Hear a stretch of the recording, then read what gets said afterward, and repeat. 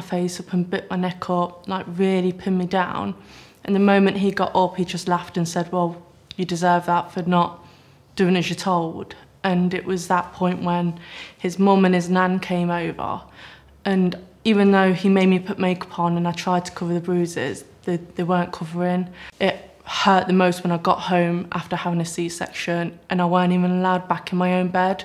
I had to sleep on the sofa because he didn't want me and our daughter disturbing his sleep and his well-being was better than mine and our daughters. He almost murdered me, uh, attempted to murder me on three different occasions. And I think it was the last one where the police, because I was like naked by that time, right? He'd beat me up. My soft tissues in my back were injured. I was literally stripped naked. It was like blood. Like, it was just crazy. And I remember just, you know, like in that moment where you don't even have, you don't, it's not even, like, you don't have any, like, kind of like, I don't know what the word is, shame. Like, I was literally naked, running to the front door, attempting, because I was like, in this moment of time, I'm gonna die. I was almost like stabbed, almost bricked almost run into the river, similar to my mom said that whole generation thing. You know, being forced to be pregnant and stuff like that. He would try and trap me, like he told me, I'm gonna trap you so that you can't leave and you'll be with me forever. It was so bad that I had to take morning after pills to the point that the pharmacy said we can't give you anymore. Then I started like self-harming, so I was like attempting suicide about eight times. That I remember eight times of um, attempted suicide, and then I couldn't even kill myself, so I felt like a failure because I just felt like I couldn't do anything right. Hit me that day. I had like marks under my eyes, my kneecaps and things. I could barely walk. It was about 10 o'clock in the morning. He rang his mum and said, like, listen, this time I'm actually going to kill her. You need to come and get her out of my house now. He was always targeting my belly because he wanted me to have an abortion. And obviously I was only 16 or just turned 17 when I found out I was pregnant. And he was 25 at the time. He had told me, you know, I've made seven different girls or I've killed seven babies before. There's no way a kid's going to have mine and things like that. So the abuse was always very focused around my stomach and obviously trying to like basically kill the child and things like that. As I started getting like showing more and my bump was getting bigger and we had announced it, obviously I think he realised it's happening, the baby's coming, um, and he obviously didn't want anyone knowing what he was like and things. So that's when it just turned into a lot of suffocation and strangulation. Um, I did leave him two years ago, but the abuse didn't stop. It got worse. It got more violent it got more intense for me um, to the point where I questioned going back because I thought the abuse was better being with him than what it was not being with him. I definitely disassociate to life. I, if I don't want to think of it or I don't want to live it, I separate real life and I struggle to come back into reality using my children as human shields. It's shameful to admit I've done that a lot. I've held my babies in front of me to not be abused. I need people to recognise that you've got pre-abuse, you've got active abuse.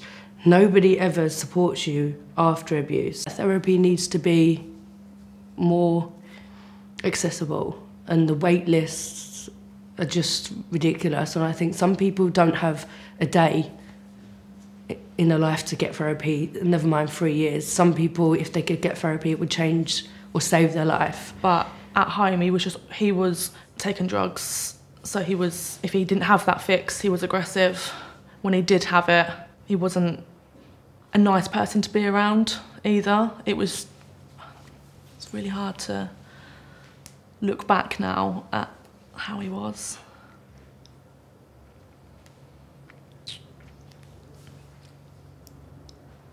He just overall just just ruined my life.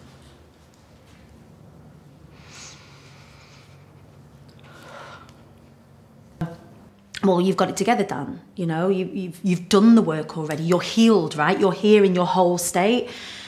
And actually, I need this space as much as anybody else. I'm still a survivor. I'm still recovering. I'm still on the journey even though I've done a lot of the work and I'm much further along in the process as say someone who's going through crisis right now. Nobody outside of my immediate family calls me Daniela. Everybody else, I'm Danny Wallace. And it's not just Danny, it's Danny Wallace, unless you're like my circle of friends. And there is a distinct difference between the hat that, and it's not fake, it's just an amplified version of myself that I have in my professional facing self, right?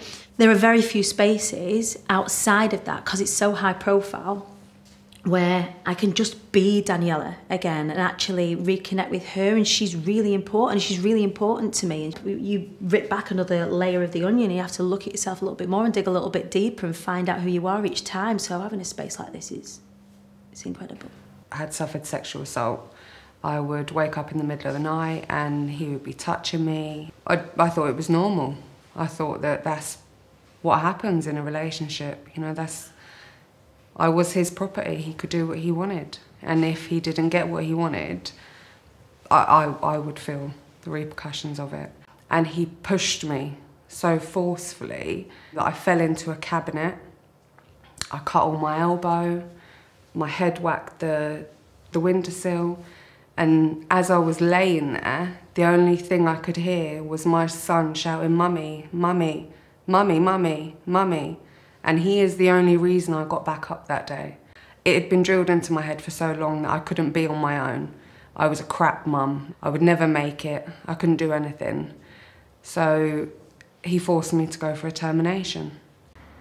But little did he tell everyone that he had pinned me up by my neck the week before that, or that I was called every name under the sun, and that I wasn't good enough.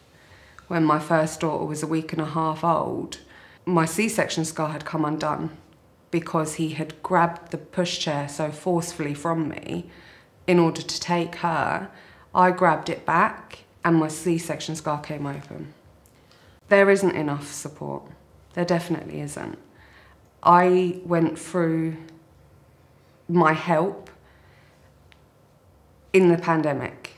So there was no face to face, there was no one coming to check you were okay, there was no one to call because they were all busy. Even after the pandemic had gone, even when I would call agencies, oh, well, there's a backlog, so we'll, we'll put you on a waiting list. But I needed the help there and then. I didn't need to go on a waiting list. Oh, I'm free. I'm, I'm definitely free. I'm gone. He has no clutches on me anymore. My life is completely different. I live in a house he has never stepped foot in. I have children he no longer knows. My life is different. I have ambitions. I'm, I'm free. You're powerful. Yeah. You reclaimed it all back for yourself and your children. I did. I did.